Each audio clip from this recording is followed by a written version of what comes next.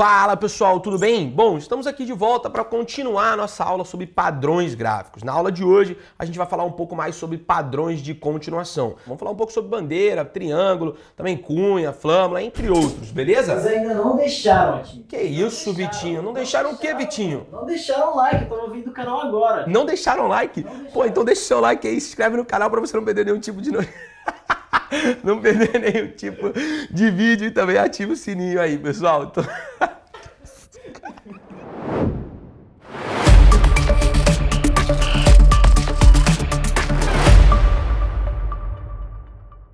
Bom, pessoal, então depois de a gente começar né, a estudar aí bastante sobre teoria de Down, tendências, padrões, né, tanto sobre os tipos de gráficos, candles, entre outras coisas, a gente vai dar, né, vai juntar todos esses tipos, todos esses conteúdos e colocar aqui para vocês, né, para a gente falar um pouco mais sobre padrões gráficos de continuação.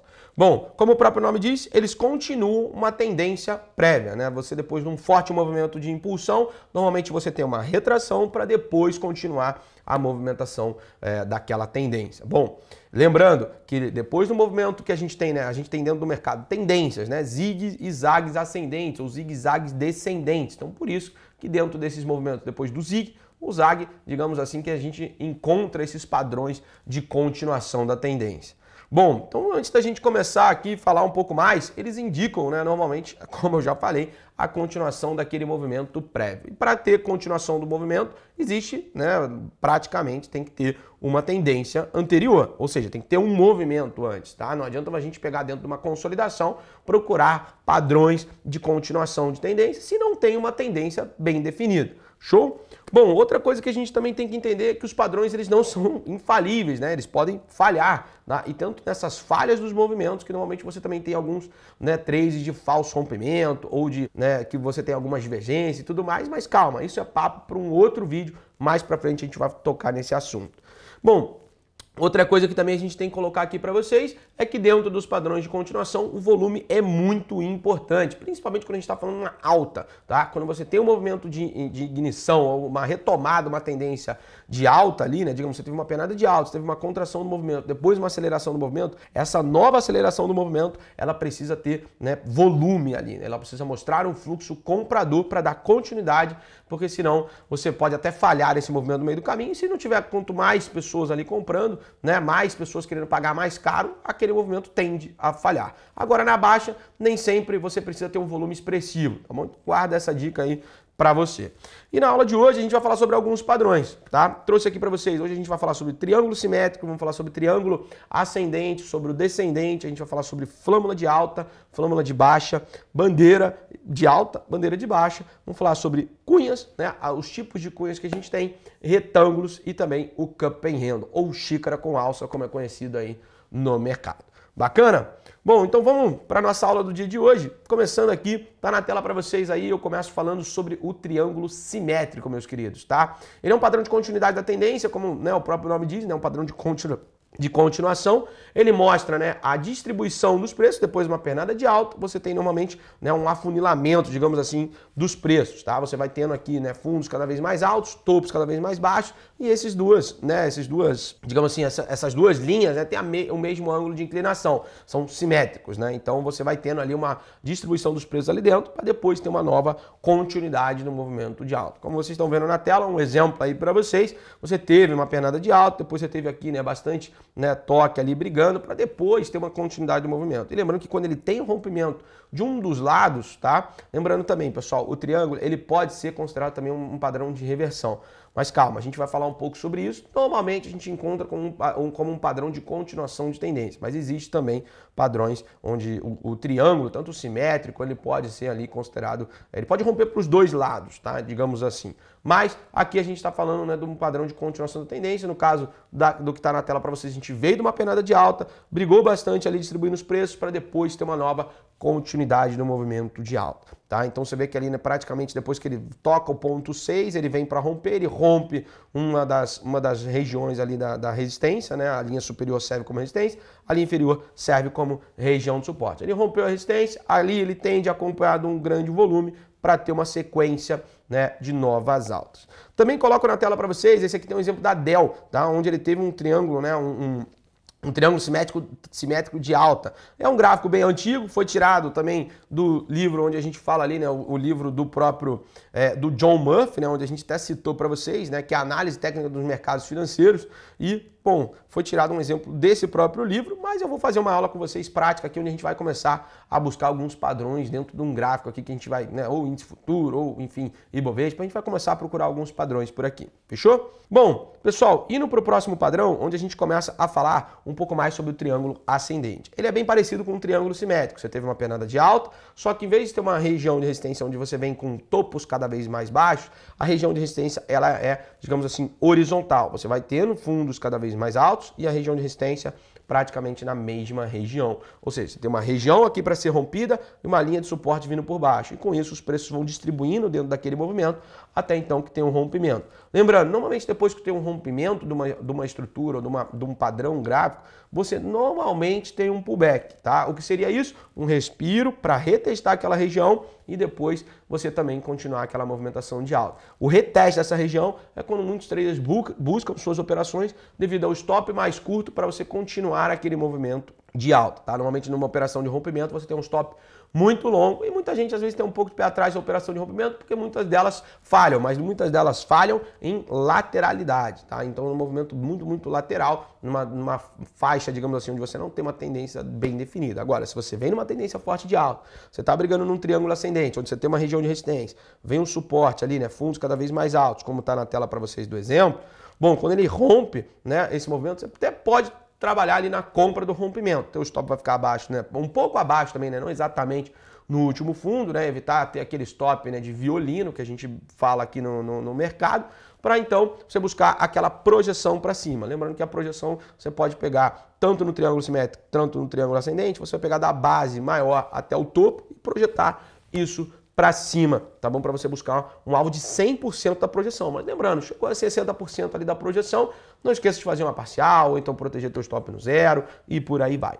Bacana? Também está na tela aqui para vocês um exemplo né, do, do índice Dow Jones né, de, de transportes, também é um exemplo antigo, foi tirado também do livro do John Murphy, onde tem um, um, baita exemplo aqui de um triângulo ascendente. E novamente a gente vai buscar esse padrão aqui na tela para vocês, vamos buscar alguns gráficos aqui para a gente poder é, acompanhar esses padrões, ver também aqui junto com vocês. Tá bom? Bom, pessoal, indo para o triângulo descendente, também é o terceiro tipo que a gente tem né, da parte ali dos triângulos, né, digamos assim.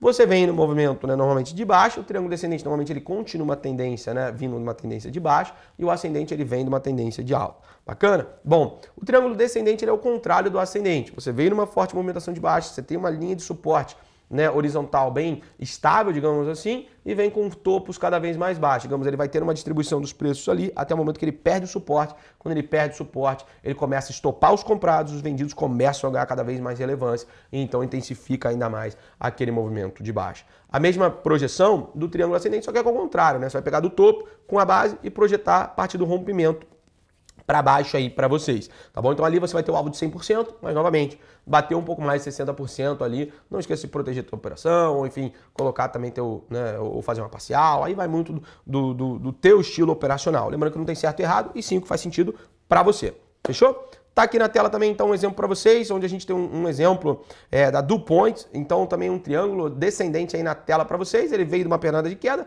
ficou distribuindo preços para depois ter um novo movimento de baixa ali quando ele rompeu e você vê que ele tem um pullback na região, né? Você tem um reteste da região e depois ele vai em gap ali para baixo, tá bom? Bom, pessoal, dando aqui então sequência para nossa aula, a gente vai falar um pouco mais sobre as flâmulas, tá? Uma flâmula que é bem parecida com um triângulo, tá? Mas a gente tem ali uma certa, digamos assim, diferença, tá? Também ali entre é, a, a flâmula do triângulo e também de uma de uma bandeira. A gente vai falar um pouco mais para frente sobre a bandeira. Mas, dando sequência aqui para a flâmula de alta, ele é bem parecido, né, como eu acabei de falar, com a própria bandeira, mas esse tem um viés, digamos assim, de um canal de, de, ele vai formando uma. ele vai afunilando, né? Depois de um forte movimento de alta, ele vai afunilando os preços ali, também meio que formando um triângulo, mas você vê que ele tem uma inclinação um pouco diferente do que, um, do que o, o próprio, digamos assim, não é um triângulo ascendente, mas também não é um triângulo descendente, é mais por um triângulo simétrico, onde você vai tendo né, as linhas dos fundos, digamos assim, subindo e a linha dos topos caindo, né? Formando ali como se fosse, digamos assim, um, um cone, né? Então, ali dentro você vai tendo a distribuição dos preços. Normalmente a distribuição dos preços tem um volume muito mais fraco do que você teve a pernada de alta, então você teve uma pernada de alta com bom volume, distribuiu os preços ali dentro com um volume mais fraco, para depois ter uma continuidade daquele movimento. O que a gente projeta, na real, não é a base ali, né? Digamos, igual o triângulo, né? eu pego da ponta né, do, do, topo mais alto com fundo mais baixo e projeto a partir do rompimento. Vou pegar o que a gente chama de mastro, que é o tamanho do movimento de alta anterior e projeto a partir do rompimento, como está na tela para vocês. E o rompimento ele precisa acompanhar do volume, pessoal. Precisa ter volume expressivo, ter gente pagando cada vez mais caro, estopando os vendidos, intensificando ainda mais as compras e então acelerando, potencializando aquele movimento de alta. Tá? Então esse é um exemplo que está na tela para vocês, de um exemplo de uma flâmula de alta. Você teve uma penada de alta, né, ali no, no, no, gráfico da Caterpillar, formou ali né, praticamente um, um, uma flâmula e depois você teve uma nova continuação do movimento. Logo depois você tem um movimento de uma flâmula de baixo, um exemplo de uma flâmula de baixo. Também esse exemplo, pessoal, sim, é um gráfico muito antigo, como eu falei, a gente vai colocar aqui na tela para a gente poder acompanhar, mas também tem aqui dentro do livro do John Murphy, onde foi o livro que eu utilizei como referência para fazer essa aula aqui para vocês. Tá? Então você teve uma pernada de queda, formou a flâmula, ela perdeu, fez um pullback e depois acelerou essa pernada de baixa, então dando sequência aí, então já juntando né, tanto a flâmula de alta quanto a flâmula de baixo. Os dois, né, os dois padrões são iguais, o que vai mudar é a direção que ele está indo. Né? Você teve uma movimentação de alta, a continuidade é ter um movimento de alta. Na de baixo, você teve uma penada de baixo, ele veio né, afunilando os preços aqui, distribuiu também com volume mais fraco e depois acentua suas movimentações de queda. Lembrando que esses padrões, pessoal, só novamente, eles podem falhar, tá bom? Não é infalível esse movimento, são padrões que a gente tem no mercado, né? São nada mais nada menos que você teve uma impulsão, uma contração daquela volatilidade e depois tem uma nova impulsão, da, né? Você tem uma nova expansão da volatilidade, tá bom? Então, dando sequência aqui, vamos falar também um pouco sobre bandeira, bandeira de alta, bandeira de baixa, bem parecido ali com as flâmulas, só que a diferença é que em vez de ser num formato de triângulo simétrico que você tem na flâmula, na bandeira você tem em formato de canal, ou seja, você teve um movimento de alta. Normalmente uma bandeira de alta, você descansa o preço contra o movimento prévio, pernada de alta, descansou no canalzinho aqui, né, distribuiu os preços com um movimento mais, com um volume mais fraco, né, de, como eu já falei, distribuindo os preços ali, né, não tem tanto interesse em compras, os vendedores também não ganham tanto fôlego assim, vai descansando nesse canal até que então dá aquela continuidade do movimento. O que a gente chama dessa pernada de alta aqui é o mastro e essa parte do canal paralelo ali, né, inclinado contra o movimento prévio, de bandeira. Então você tem um mastro, bandeira, a partir do momento que ele rompeu, você projeta esse movimento lá para cima, tá bom? Então você pega o 100% da bandeira, projeta para cima, mas lembrando, a partir do momento que andou 60%, 70%, enfim, né, andou o teu risco projetado para cima, você pode levar teu stop para zero, ou então duas vezes teu risco para cima, você pode pensar numa parcial, um, uma vez e meia, né, o teu risco inicial, fazer uma parcial, isso é muito de cada um, como eu falei, não tem certo e errado, tá bom? Lembrando, aqui está um, um, exemplo para vocês na tela, né, do International Paper, também tirado do livro do John Murphy. Você teve um forte movimento de alta, depois ele descansou e aí ele teve uma nova continuidade do movimento. Esse exemplo é um exemplo de uma bandeira de alta, mas na baixa é a mesma coisa. Você teve um movimento forte de baixa, você respira, só que no canal paralelo contra né, essa movimentação de baixo. Então você vem no movimento de baixo, você respira contra esse movimento para depois ter uma nova continuidade no movimento, tá bom? Então é um dos padrões que mais acontece no mercado, tá? A bandeira, a flâmula aparece em lote, digamos assim, que a gente fala aqui com vocês. E agora, né, na real, antes da gente ir para as cunhas ali, né, falando um pouco sobre cunha, eu vou falar um pouco sobre as, né, a, a, os pontos importantes, digamos assim, dos dois padrões, tá? Ambos os padrões, tanto né, a flâmula e a bandeira, eles são muito parecidos pelo movimento de uma linha quase reta, né, que é quando ele forma aquele mastro que a gente chama, tá bom? Com um volume muito forte. Os preços, eles respiram e pausam por cerca né, de três semanas. Isso é muito, se a gente está olhando para um gráfico, né, mais para um diário ali, ele está descansando bastante, ele precisa de um tempo da formação daquele padrão para então dar uma continuidade para o movimento. Lembrando que nessa formação do padrão, o volume, como eu já falei, ele tende né, a ser um volume muito mais fraco. Show? Terceiro ponto, a tendência é a retomada, é retomada em um impulso, tá? E a quantidade dos trades aumenta, ou seja, a partir do momento que rompeu, você tem uma aceleração, né? É esperado, né? Uma aceleração da quantidade de trades, uma aceleração do movimento, uma, um aumento do volume. Então, por isso que você tem todo esse movimento de aceleração da tendência ali. O quarto, né? Que a gente tem aqui, né? De pontos importantes para vocês, na real, a gente tem oito, né? Certo? Certo, Tiagão? Oito? Perfeito. Bom, então a gente tem aí, né, quatro, o quarto que a gente coloca aqui é que eles acontecem normalmente é, próximo, digamos assim, depois de um forte movimento, ele fica descansando até que ele vai para romper ali mais próximo, né, digamos assim, depois de um, um primeiro teste, o um segundo teste, normalmente ele vai no terceiro ali, para o teu rompimento. Não é uma regra, mas te, na maioria dos casos que a gente acompanha no mercado, você tem ali, né, ele leva dois terços né, para formar e num terço depois ele acaba rompendo e acelerando a movimentação. A flâmula, ela parece muito como um triângulo simétrico, como eu já falei aqui para vocês, e também a bandeira aparece com um canal paralelo. Também acabei já falando para vocês. E outro ponto que eu até comentei, em tendência de baixa, os padrões eles levam menos tempo para formar. Ou seja, para você continuar o movimento de alta, você leva mais tempo, as pessoas não querem tão, né, tanto assim pagar mais caro para poder ter uma aceleração dos preços. Já na baixa, quando você tem aquele sentimento de pânico, né, aquele desespero do mercado, os padrões eles formam mais rápido, tá bom? Outro ponto, e por fim, o oitavo, são muito comuns né, dentro do, do, do, do, nosso mercado, né, não só aqui, lá fora, tá? Você tem muito desses padrões, tanto bandeira quanto flâmula, como eu já comentei com vocês. Então, oito pontos aí importantes para a gente poder acompanhar e também coloco na tela aí para vocês como a gente utiliza né, a projeção, tanto de uma bandeira de alta, tanto de uma flâmula de alta aí para vocês, beleza? Bom, colocando aqui então, dando sequência, pessoal, para né, para nossa aula aqui, as cunhas, né? A gente também utiliza as cunhas como um padrão de continuidade da tendência, mas em alguns casos ela pode ser formada, né, num topo ou num fundo e caracterizando uma reversão do movimento, tá? As cunhas acontecem também bastante no mercado, só que você tem que ter um pouco mais, né, digamos assim, é, é, ser um pouco mais crítico dentro do seu, da formação do seu padrão tá bom? Ela também é semelhante com um, um triângulo né, simétrico, tendo é, a forma e a quantidade de tempo para ser formado, mas ela tem uma leve inclinação, tá? Ela tem uma inclinação um pouco maior, mais para cima, digamos assim. Você vem no movimento de alto, você tem depois uma cunha né, formando contra o movimento, ela não forma em formato de canal, também não em triângulo simétrico como uma flâmula, em sim como um triângulo mais, digamos assim, fino, né? Ele vai formando um cone menor, digamos assim, como está na tela para vocês. Depois que ele forma esse padrão de cunha, ele também tem uma distribuição dos preços ali dentro e depois ele tende a ter um rompimento.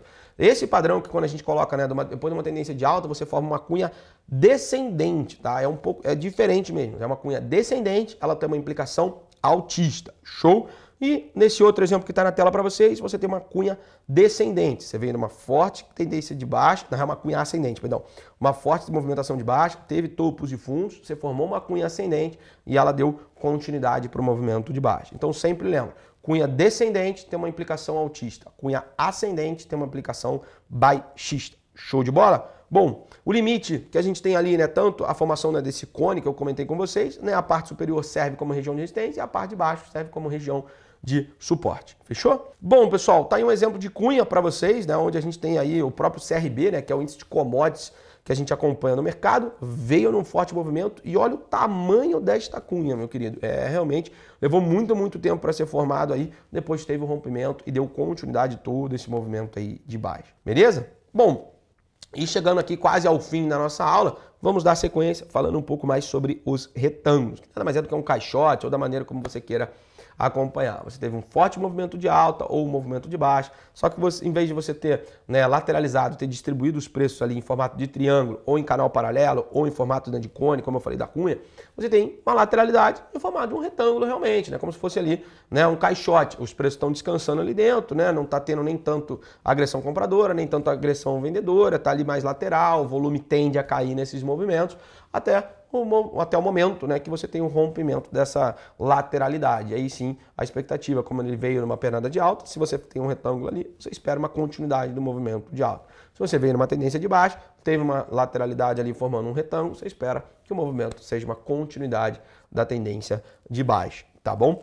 Na maioria dos casos, tem um pullback, ou seja, tem um reteste da região rompida. Então, fique atento a isso. Para você que gosta de um pullback, que você gosta de ter um stop menor, né, para ter a continuidade do movimento, na maioria dos casos tem pullback. Mas lembrando que tem casos também que não vai ter o pullback e depois você vai querer correr atrás do preço. Muito cuidado com isso. E o cup and handle, pessoal, ou xícara com alça, que a gente também trabalha aqui com vocês. O Lucas Costa falou no Mark Binevini, né, onde ele utiliza muito esse padrão numa, num dos padrões dele, né, de contração de volatilidade. Ele opera muito, muito, muito muito isso, tá? Então o Handle nada mais é do que também um descanso do mercado, contraindo a volatilidade do movimento. Na maioria das vezes é um padrão de continuação. Existe também Handle em reversão, mas a gente né, acompanha muito mais os padrões de continuidade. Tá? Então você teve. É, o Camper Rendo aparece muito mais né, num padrão de continuidade do que da própria reversão, mas existe também reversão. Bom, você também teve um forte movimento de alta, você descansa em formato de uma xícara, que a gente chama, né, um formato mais arredondado.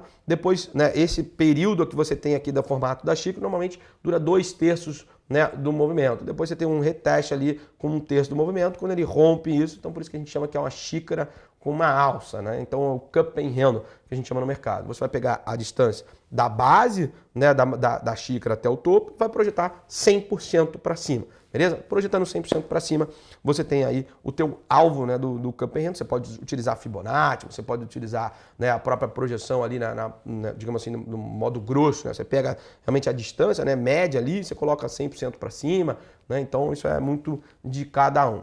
Fechou? Bom, normalmente, né, não necessariamente precisa ter o pullback, mas normalmente o rompimento ele acompanha de um grande volume, tá? Para ter a continuidade, como eu falei, do movimento. Então a gente aprendeu no dia de hoje que o volume é muito, muito importante em padrões de continuação, porque você tem que ter uma, uma aceleração daqueles trades, né? Você tem que ter mais trades acontecendo, mais volume, né, digamos assim, dando sequência, mais gente querendo pagar cada vez mais caro para então ter essa, digamos assim, esses preços subirem, tá? Bom, pessoal, então chegamos aí ao fim da nossa, da nossa aula sobre é, padrões de continuação. Lembrando, tá aqui na tela também os livros que eu utilizei como referência. Eu falei bastante né, sobre o John Murphy aqui com vocês, mas eu também olhei, uma, né, né olhei ali bastante sobre o, o, o, livro de análise técnica dos mercados financeiros do Flávio Lemos e também dei uma olhada, como eu já falei, deixei aqui até o site para vocês, o The Partner Site do Thomas Bukowski, né, que lá também tem bastante ranking ali né, sobre os padrões, quais são os que mais aparecem. Lembrando, esse é um estudo para o SP500, mas também a gente utiliza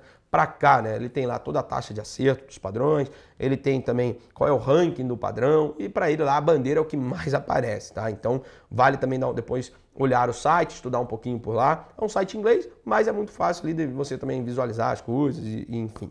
Beleza? Pessoal, se você chegou até aqui, não esqueça de deixar o seu like, né, se inscrever no canal e para você não perder nenhum tipo de conteúdo por aqui, beleza? Também não esqueça de seguir a gente no Instagram, tanto no Instagram é Otto G. Tem o Lucas.miclaro e Lucas Costa AT. Beleza, pessoal? Fico por aqui, espero que vocês tenham gostado e deixe nos comentários o que você achou dessa aula e também sugestão para as próximas, beleza? Valeu, valeu, tchau, tchau!